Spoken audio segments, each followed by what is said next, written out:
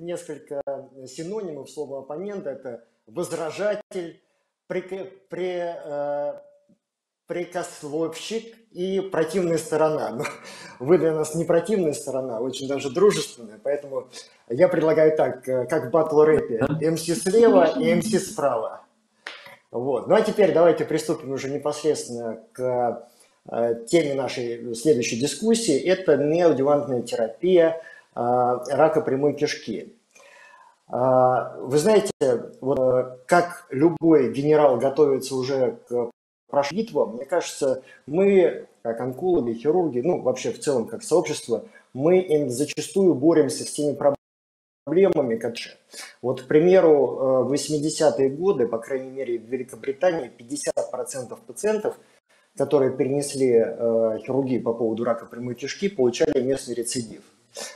И, соответственно, большая часть из них умирала в мучениях. И вот этот вот э, шлейф э, проблемы этой протянулся и до наших дней, хотя на самом деле за последние 30 лет он был полностью решен, как мы уже ранее говорили, Биллом Хилдом, который предложил ТМ, и неодевантной э, химиотерапии. Но что же сейчас происходит? Вот на самом деле, если посмотреть на нашу клиническую практику.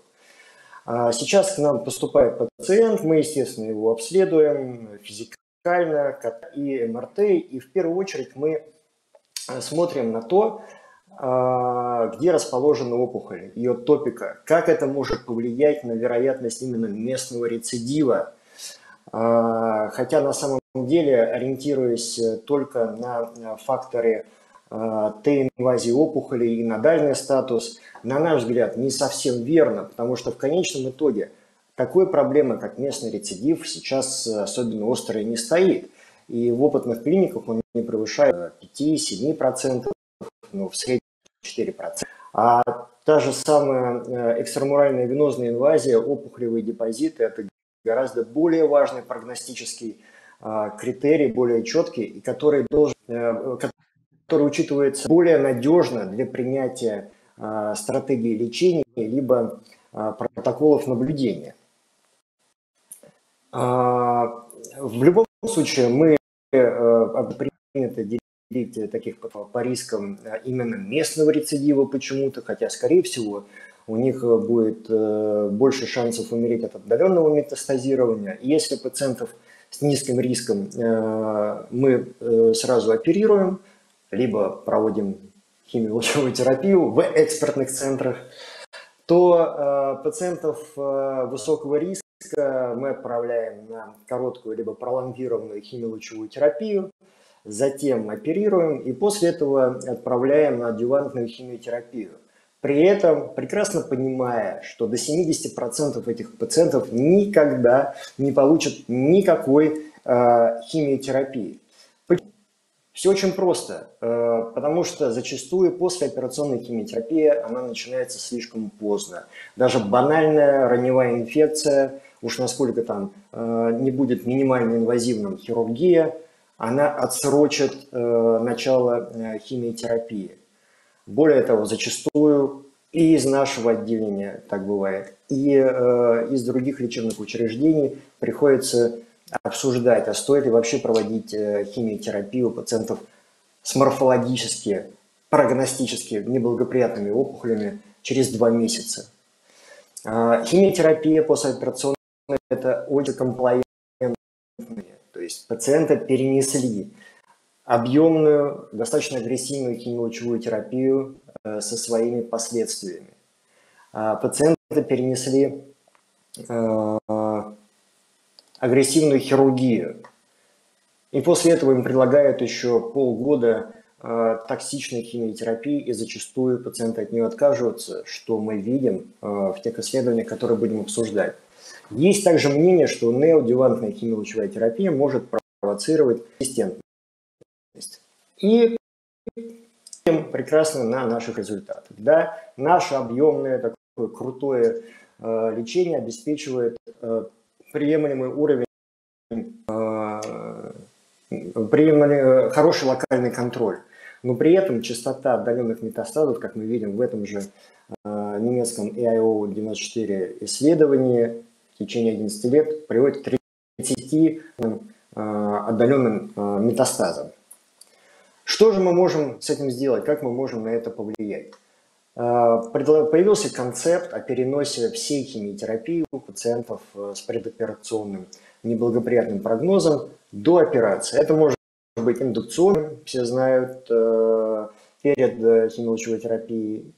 Это может быть консолидирующий режим, когда химиотерапия в полном объеме должна проводиться после облучения, но перед операцией. Это может быть интенсификация, интенсификация химиолучевой терапии.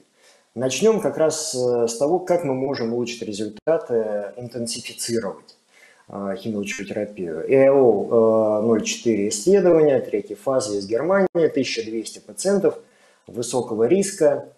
Одним из них пролонгированная химиолучевая терапия, затем хирургия, затем, затем 4 курса болюсных вторперимединов – и второй группе химиолучевую терапию интенсифицировали двумя курсами фолфокса, затем операции, затем 8 э, циклов химиолучевой терапии.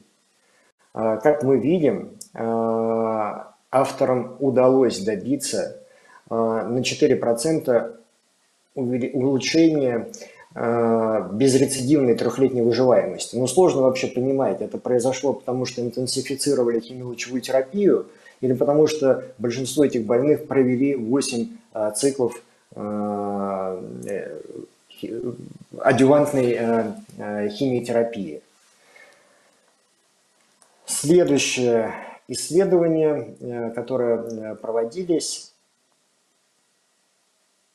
это также исследования третьей фазы, которые не показали никакого улучшения ни в местных рецидивов, ни без рецидивной выживаемости, не в общей выживаемости.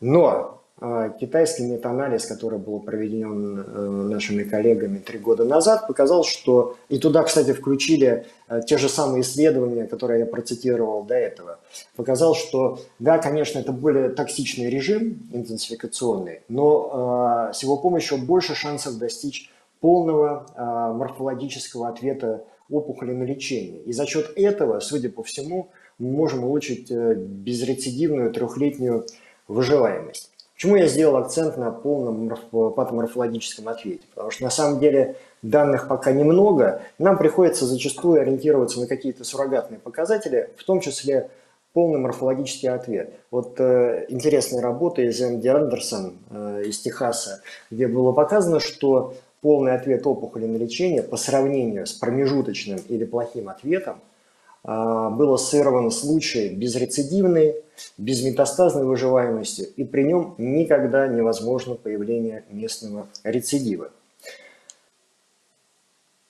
А, следующий режим лечения – это консолидирующая химиотерапия, когда мы проводим а, химиотерапию перед операцией, но после химиотерапии лучевой э, терапии. А, первое исследование – это польское исследование, э, где сравнивались э, результаты лечения двух групп пациентов. Первым выполнено 25 грей крупными фракциями и три курса консолидирующей химиотерапии FOLFOX. И вторая группа пациентов – это пролонгированная химиолучевая терапия с интенсификацией оксалиплатином.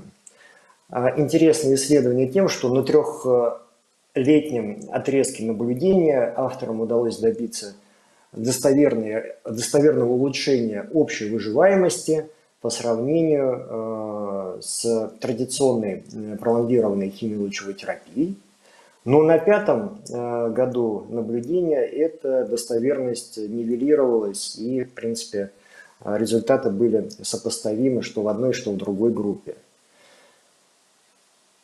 А, одно из исследований, опять же, панамериканское, Хулио Гарсия Агилар, опять же, Principal Investigator, он из Нью-Йорка, и он такой локомотив, на самом деле, вот такого неодювантного а, подхода, тотальной неодювантной терапии. А, четыре группы больных, одной группе не проводилась консолидирующая химиотерапия, а трем другим группам назначалось 2, 4 и 6 курсов э, консолидирующей химиотерапии.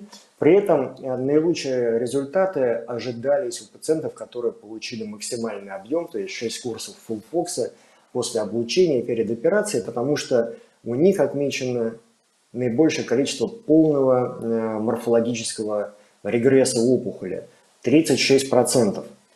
Но на самом деле э, год или два назад, э, или даже в этом году были опубликованы окончательные результаты пятилетнего, пятилетнего фуллапа, и при унивариантном анализе разницы между этими всеми режимами, режимами показано не было. Но при мультивариантном анализе, сколько бы пациент не получил э, химиотерапии после облучения, э, у него были гораздо достоверно лучше э, без, без метастазные и без рецидивные показатели по сравнению с теми пациентами, которые не получили химиотерапии после облучения а после операции эта группа пациентов только в 30% случаев получила химиотерапию. То есть это наименее загруженная а, группа пациентов, которая, собственно, недополучает э, противоопухолевого лечения э, комплексного.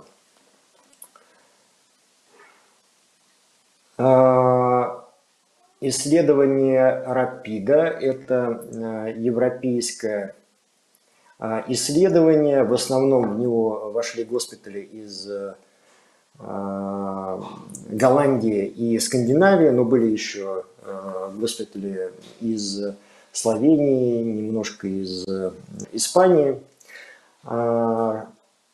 Дизайн исследования вы видите на экране, но смысл его в том, что наибольшее количество химиотерапии было Э, направлено больным после э, э, химиолучевой терапии крупными фракциями, 25 грей, затем 9 курсов фолфокса и традиционный, традиционный режим облучения.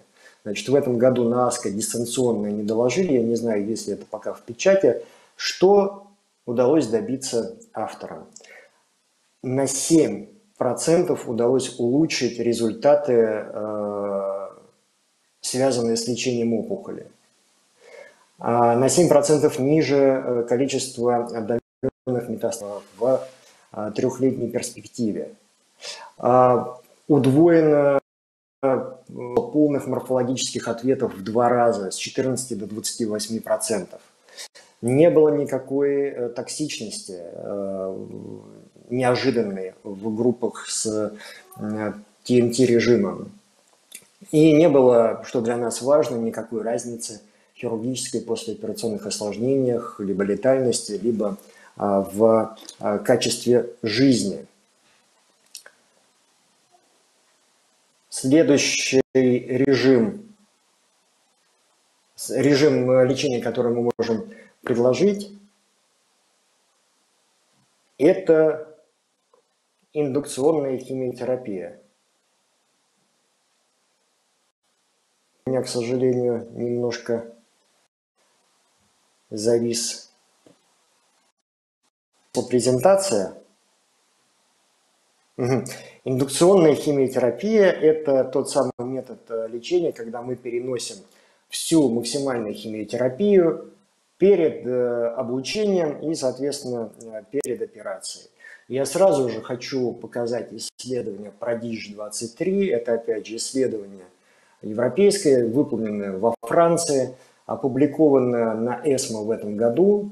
А, и очень интересно, что максимальный объем химиотерапии вложен больным, триплета, то есть препараты оксалиплатина, иринотикана и фторперимидинов – в течение трех месяцев до э, химиолучевой терапии, а, после этого операция и потом такой ограниченный в течение трех месяцев фолфокс.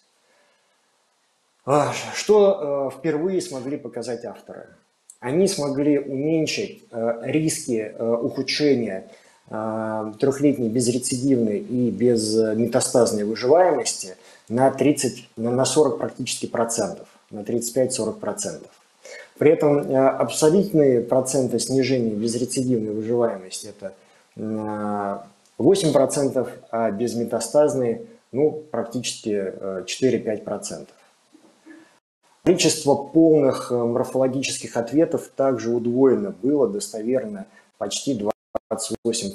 Ну и самое интересное для наших химиотерапевтов – это то, что адверцемент э, при адювантной химиотерапии были суммарно гораздо выше у пациентов, которые, которые получали традиционную химиолучевую терапию с задумкой а, после операции уже провести всю химиотерапию. Это на самом деле, я думаю, такие базовых исследования последние. Еще несколько исследований по э, индукционной э, химиотерапии, которые э, можно процитировать. Исследование из Испании GCR-3, это вторая фаза. Она опять же показывает, что индукционная химиотерапия – это самый комфортный режим проведения именно для химиотерапевтов. Компонентная для пациентов, наименьшее количество токсичности третьей, четвертой степени. Вот. В этом исследовании, к сожалению, автор не сказать э, улучшение результатов э, ни по местному контролю, ни по отдаленным результатам. Американское исследование, где сравнивались два э, университетских госпиталя, одним проводился ТНТ-режим, то есть 4 курса индукционной химиотерапии – затем 25 грей крупными фракциями. И тотально эти пациенты суммарно получили вместе с адювантной химиотерапией в среднем 12 э, курсов химиотерапии. И классическая химиолучевая терапия, где сначала было облучение, и после операции в среднем пациенты на 4 курса меньше получали, чем э, аналогичные стенти-режимы. И авторам исследования удалось добиться достоверного улучшения как безметанной, так и э, безрецидивной выживаемости, но при этом, к сожалению, на данный момент разницы в общей выживаемости достигнуто не было.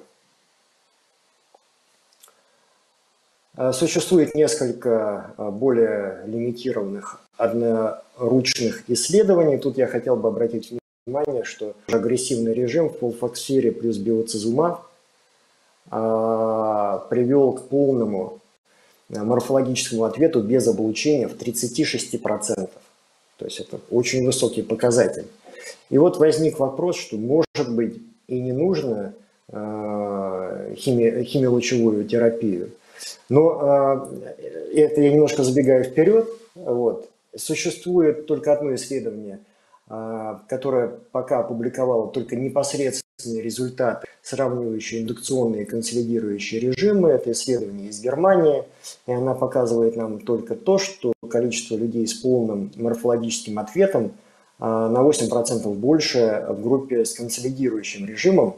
Но это возможно а, объяснить э, тем фактом, что период выжидания перед операцией в два раза а, больше, 90 дней, э, чем с индукционным режимом.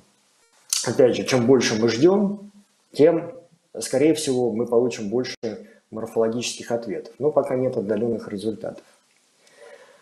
А, метаанализ с конца прошлого года, я его уже показывал в предыдущем, э, предыдущей лекции, он показал, что вот этот TNT-режим, то есть перенос химиотерапии на дооперационный этап, он увеличивает количество полных клинических, полных морфологических ответов на 40%.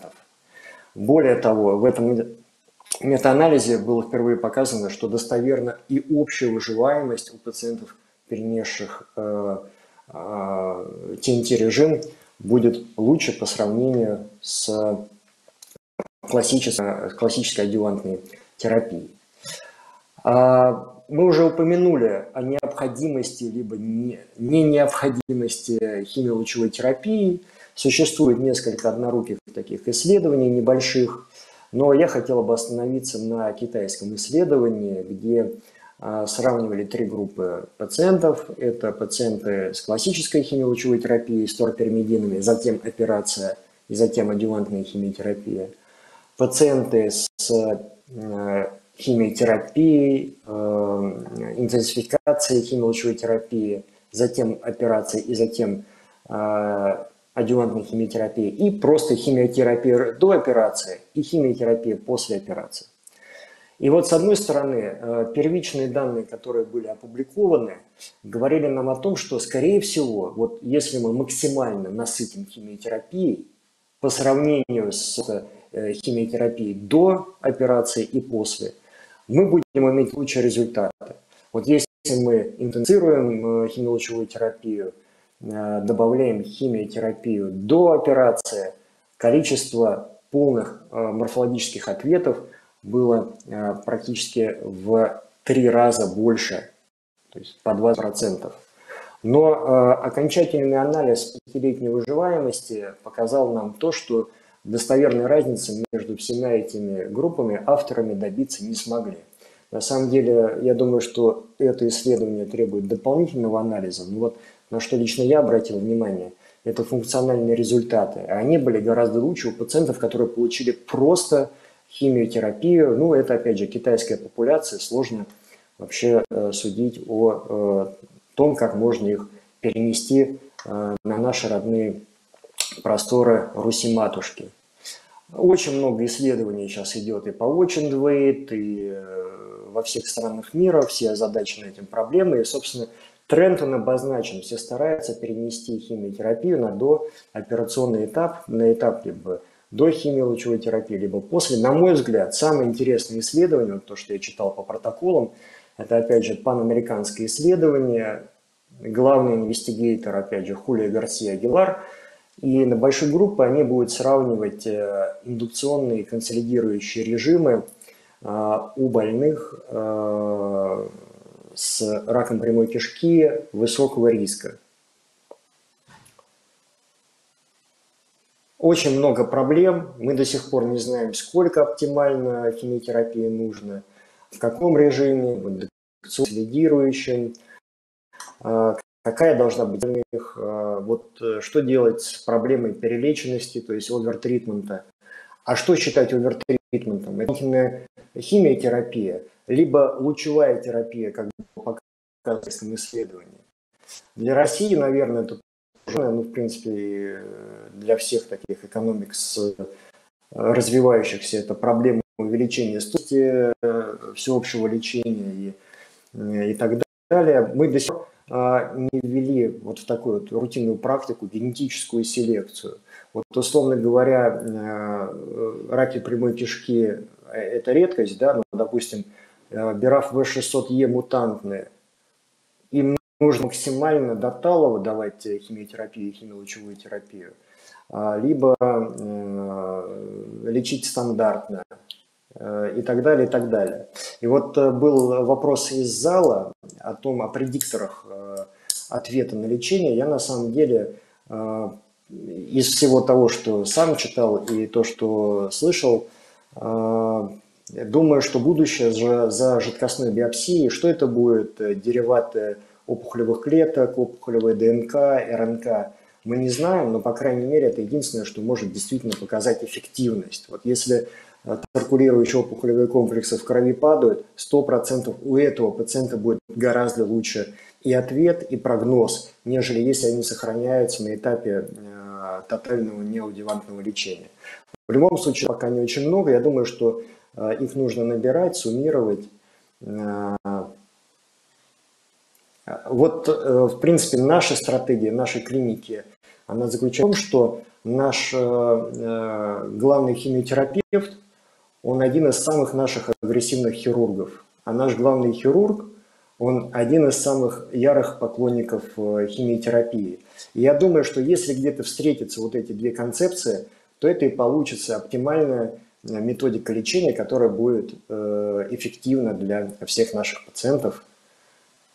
А, на этом все.